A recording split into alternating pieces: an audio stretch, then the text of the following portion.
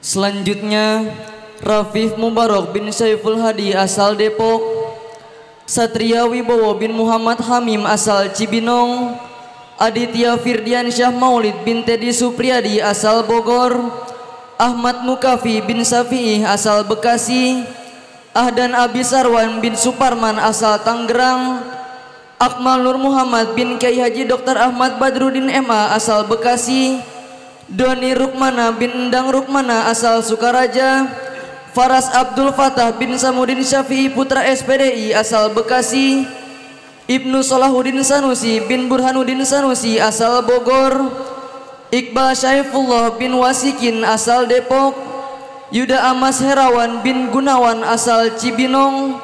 Dan Muhammad Firgarizik bin Andri Rashid asal Depok